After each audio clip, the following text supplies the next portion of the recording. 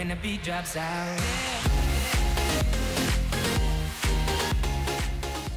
guys, welcome back to our video. Today I'm here on Black Ops 3 and I'm going to show you guys how you can like get outside the map too. And one of them is over here. It, this is Redwood so one of them is over here. You can get out here. So what you want to do is you want to come over to this tree here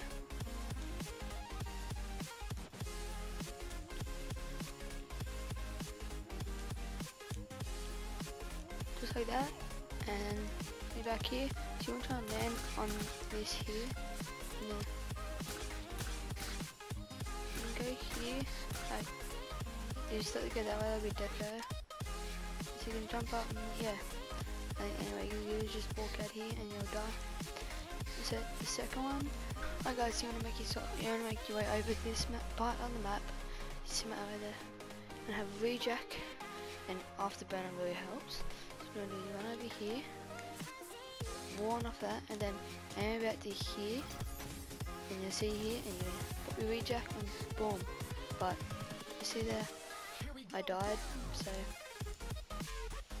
yeah. So well, that's it guys for this video on Redwood, and I'll come I'll show you guys maybe some more if this video gets five likes I will make another video another map on some crazy glitch spots like these out of the map and stuff like that so yeah so hope you guys liked it and peace